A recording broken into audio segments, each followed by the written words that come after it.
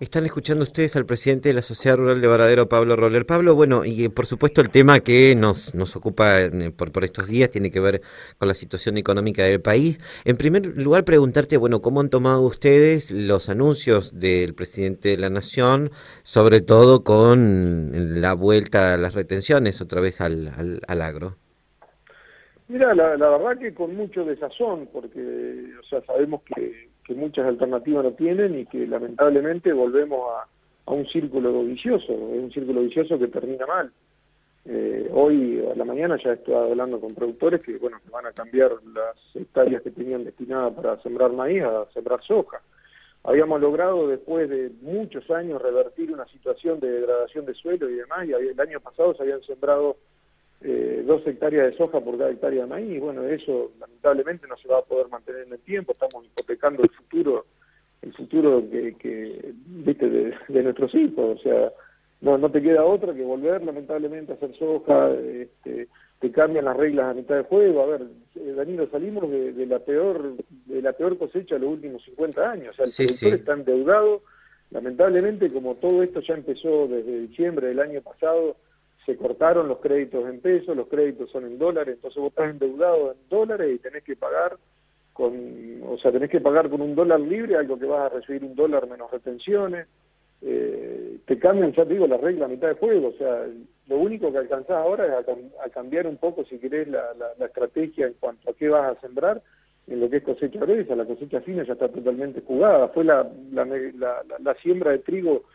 va a ser el, el, la producción de trigo más grande de la historia de Argentina. Sí. Este, si estas retenciones la hubiesen puesto antes de la siembra, seguramente eso no iba, no iba a ocurrir. Claro. Eh, porque te están, o sea, te, es, es, como que yo te diga, toma Danilo, me, me, dame 100 pesos, toma, acá tenés el micro, subite que te dejo, te dejo en tal lado. Y llego a la mitad del campo y te digo, che, bajate. Porque la verdad que los 100 pesos no me alcanzaron para llegar donde tenía que llegar, te, te bajás acá. O sea, así es como lo está viendo el productor en un año que encima viene endeudado y viene con una cosecha pésima, pésima, pésima, ¿viste? Lo que pasa es que después, como todo, te cuentan la realidad o te cuentan una parte de la historia de algunos productores grandes que en el país existen, como existen grandes supermercados, como existen grandes en, en todas las en todas las actividades, eh, si querés, económicas,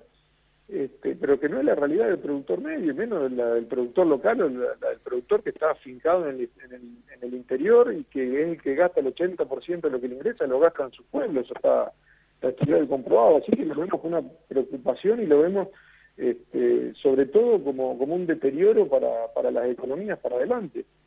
De vuelta hay una transmisión de recursos. Si, si yo te estoy diciendo que el 80% de lo que te ingresa vos te lo gastás en el pueblo,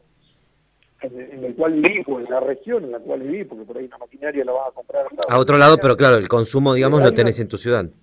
Claro, hay toda una, una de vuelta hay toda una, una, una redistribución hacia el gobierno central y el que se tiene que achicar, si tenés un de, es real que el gobierno está gastando más de lo que de lo que le entra y es real que cuando recibió el gobierno anterior tenía cuatro puntos de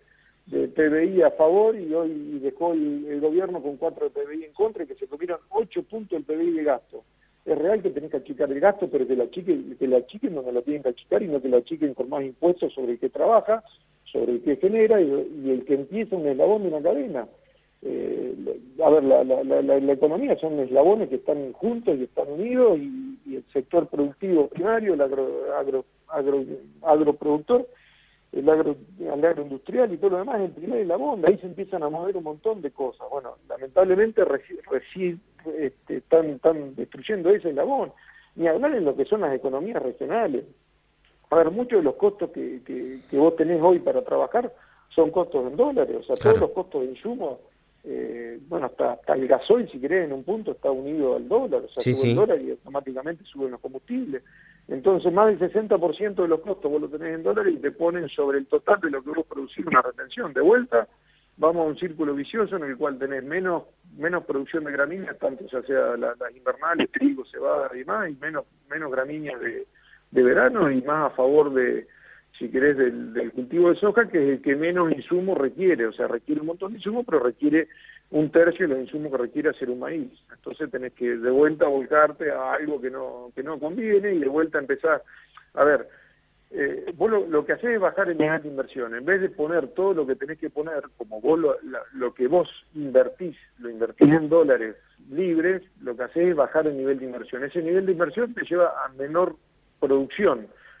Y esa menor producción te, te significa un menor ingreso y eso es un círculo vicioso que fue lo que pasó. Por eso Argentina tuvo durante 10 años produciendo 100 millones de toneladas de cereal. Y pasó en dos años pasó a producir 130 millones de toneladas, inclusive con la seca del año pasado que nos llegó 20 millones de toneladas y no llegábamos a las 150 millones de toneladas. De 100 millones a 150 millones que a veces hemos producido el año pasado y que en teoría podríamos llegar a producir este año, hay un montón, un montón de valor agregado, hay un montón de viajes de camión, hay un montón de horas de fábrica de gente produciendo harina de soja, aceite, porque a ver, ah,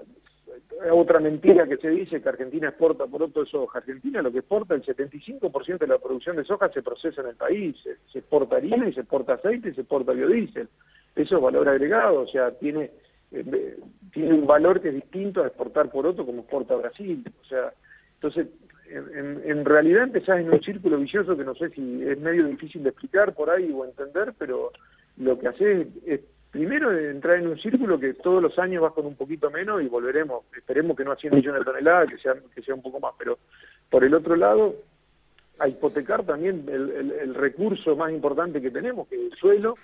eh, para las generaciones que vienen, y por el otro lado lo único que hacer es tapar el sol con la mano, porque no terminan de acomodar lo que tienen que acomodar, que es gastar menos, no cobrando más impuestos, sino gastando menos, o sea, están gastando más de lo que ingresa, y más, muchos de ellos se lo están traspasando a las provincias, las provincias a los municipios, y ya sabemos en el estado que están los municipios y en el estado que están las provincias. Así que la, la verdad que muy preocupado, entendemos que es una situación extraordinaria, que estamos cerca este, De, de algún despelote que nadie quiere, pero me parece que estamos agarrando el camino, te están diciendo que como tantos impuestos en Argentina, desde el impuesto a la ganancia hasta el impuesto al cheque que, los ponían transitoriamente, esperemos que esta vez sea transitorio, que en algún, punto podamos mejorar y empezar de vuelta por una senda de en la cual tenés previsibilidad y te podés entender o podés saber que la inversión que haces hoy va a ser la misma cuando, cuando termine el proceso productivo y no que a mitad de camino te cambien las reglas del juego.